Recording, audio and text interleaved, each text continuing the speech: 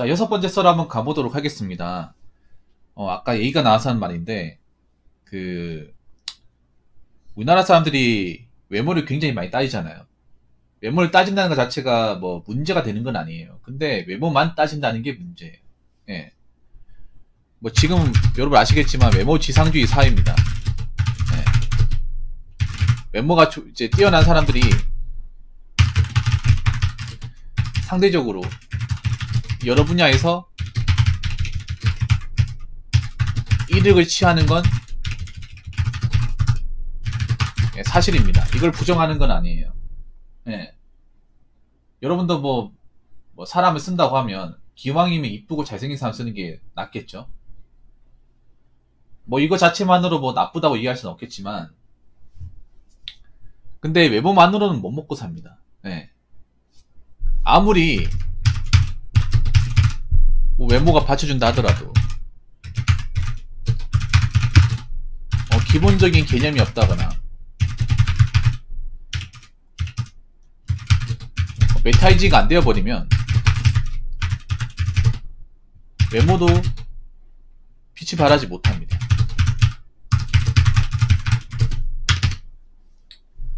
왜 연예인들 보면 연예인들 중에 요즘에 뭐 예쁘고 잘 나가신 분들 많잖아. 근데 그분들이 한 번씩 사고 쳐가지고 아니면 합법 같은 거 이제 뭐 사거나 돼가지고 그동안 자기가 소중히 읽어놨던 커리어를 접는 경우 상당히 많죠. 밥줄이 끊긴다거나.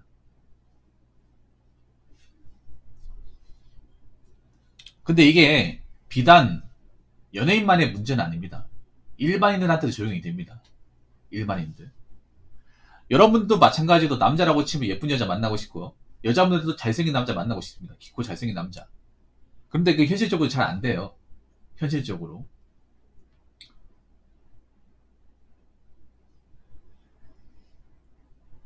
그런데 가끔은 그런 생각 듭니다.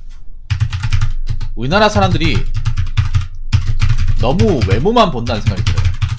외모만 보고 개념이나 내면적인 모습은 안 본다는 생각이 듭니다.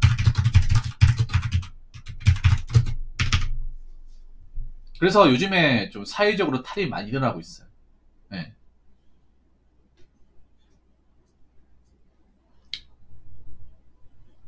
특히 남자분한테 얘기하고 싶은 게 여자 외모만 얼굴만 이쁘면 장땡 그런 마인드 가지지 않았으면 좋겠습니다.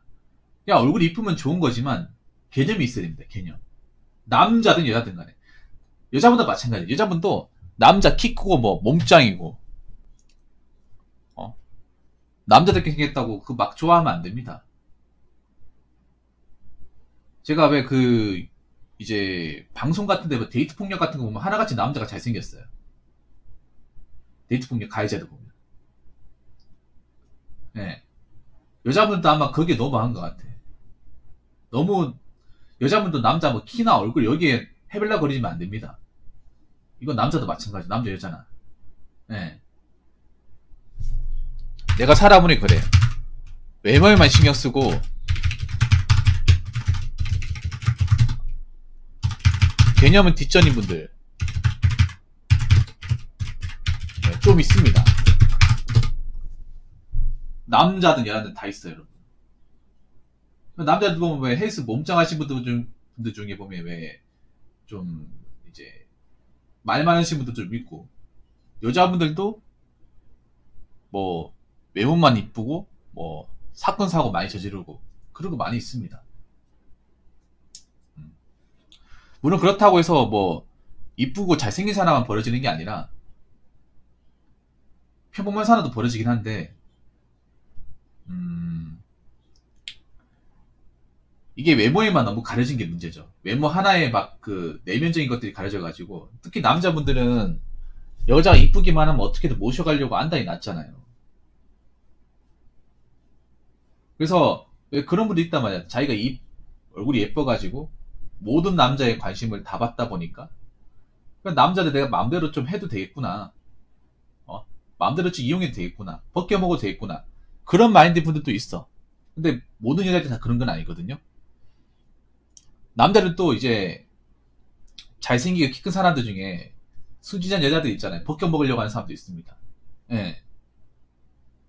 그래서 외모가 이쁘고 잘생기면 좋긴 해요. 좋은데 그게 전부는 아닙니다. 네.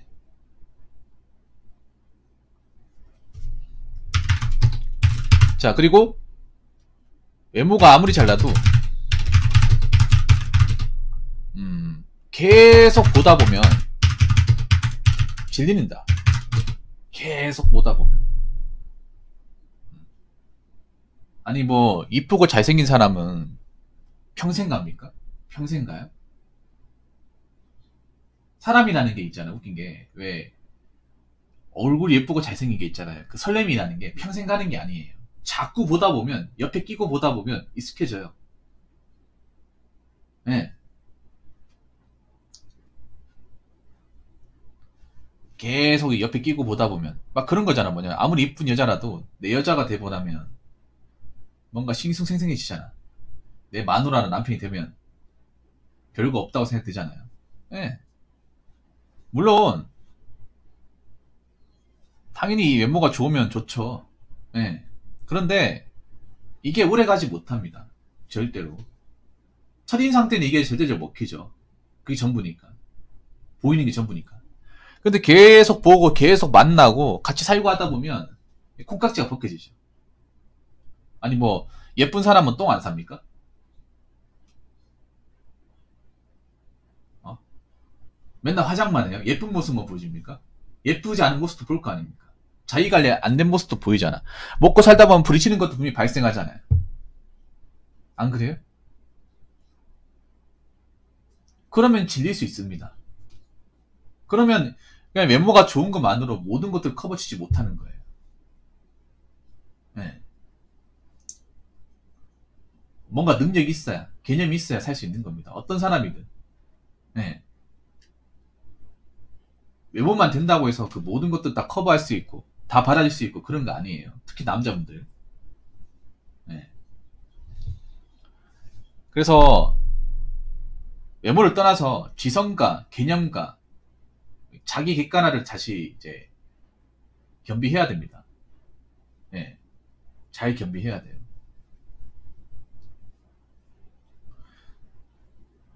특히 이쁘면 장땡, 잘생기면 장땡 이런 말 이제 없어져야 됩니다. 어. 외모가 아무리 잘나도 뭐 개념이 없거나 음, 뭐 기본 상식 그리고 뭐, 뭐 성실함이 없으면 금방 뽀록 납니다.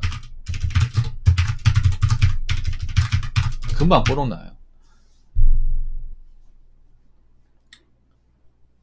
잘생긴다 하더라도 뭐 순간은 먹힐 수 있지 순간. 이게 계속 사귀고 하다 보면 뭔가 이 사람이 뭔가 모아는 돈도 없고 능력도 없고 어떻게 살아야 될지에 대해서 방법도 없어. 왜 간혹 보면 그런 사람도 있단 말이에요. 내가 먹여 살리면 되지. 한 먹여 살려 보세요. 그 쉬운 거 아닙니다. 내가 한 사람이 두 사람 먹한다는 거 절대 쉬운 게 아니야. 근데 생각해봐. 내가 그 사람을 먹여 살리면 된다는 마인드로 같이 뭔가 사귀었을 때 과연 행복할까? 과연 행복할까요? 그리고 그렇게 누가 먹여 살려준다고 생각될 때 과연 그 사람을 사랑해 줄 수 있을까? 그냥 무의치로 생각하지 않을까요? 잘생기든 못생기든 예쁘든 보통이든 간에 자기 앞가림을 해야 돼. 어떤 식으로든 앞가림 해야 됩니다. 직장도 다녀야 되고 돈도 모아야 되고 먹여 살리려다 내가 먹혀 들어갈 수 있습니다. 세상이 어떻게 흘러가는지도 알아야 됩니다. 예쁘면 잘생김 예쁘고 잘생긴다고 해서 몰라도 되는 게 아니에요. 당연히 알아야죠. 면제부가 되는 게 아니에요. 내가 대한민국 사람으로 태어났으면 다 알아야 되는 거야. 지금 대, 한민국 경제 흘러가는 거. 거품 빠지고 있다는 것도 잘생기고 외모 이쁜 사람들 알아야 됩니다. 네. 거품 빠지게 되면 이 외모도 모든 것을 커버지지 못할 거예요. 외모만으로. 네. 먹고 사는 게 먹고 살 수 있는 능력이 외모를 커버칠 수 있을 만한 사회가 올지도 모르겠습니다. 네. 그래서 있잖아요. 외모를 어떻게 우리가 뭐 벌어먹고 살 수 있는 게 아니잖아요. 그래서 남자분들 같은 게 특히 뭐 여자 얼굴만 보고 훌딱 반해가지고 어떻게 해야겠다 이런 생각 절대 하지 마세요 제발. 이쁘면 좋죠 이쁘면 이쁘면 좋은데 그 이쁜 게 모든 것을 다 대변하지 않더라고요. 네. 모든 것을. 왜 남자분들 중에 왜 그런 거 있잖아. 뭐 내 아는 친구가 뭐 신부가 이쁘고 하면 막 부럽고 하잖아요. 그, 그 근데 살고 알고 보면 그렇게 부러운 것도 아닙니다. 네. 부러운 것도 아니야. 오히려 더 힘들 수 있어.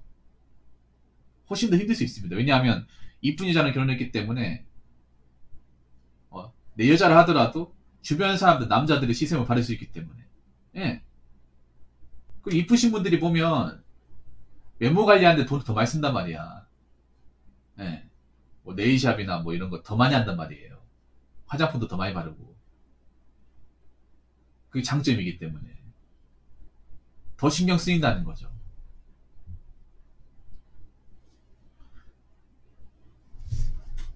그래서 외모가 이쁘고 이제 잘생기면 좋은데 그, 그 사람이 뭐 어떤 직업을 가지고 어떻게 살아갔는지 예, 그리고 좀 모난 데가 없는지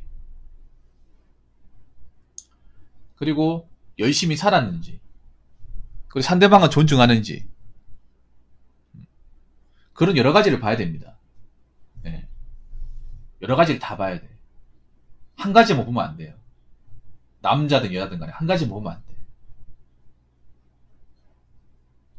다 봐야 돼, 다. 네, 꼼꼼하게 봐야 됩니다.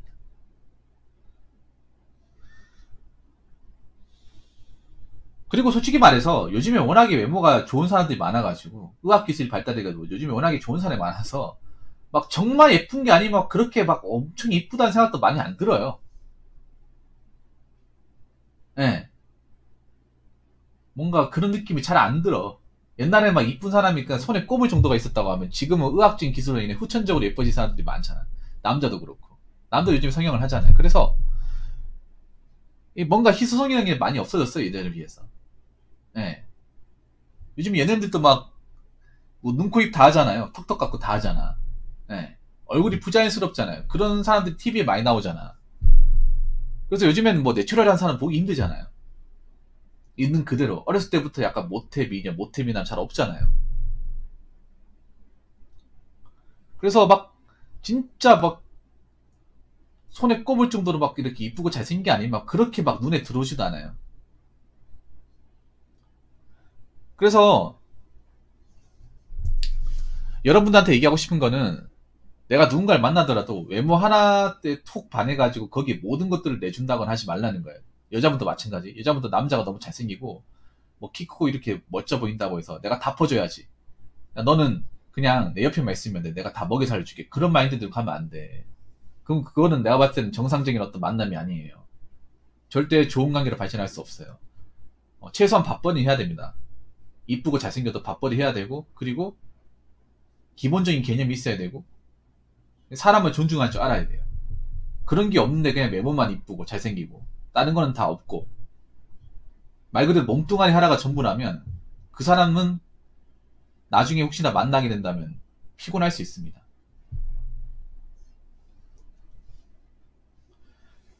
그렇기 때문에 절대로 외모 하나만 보려고 하지 마십시오. 자, 이상으로 여섯 번째 썰 마치도록 하겠습니다.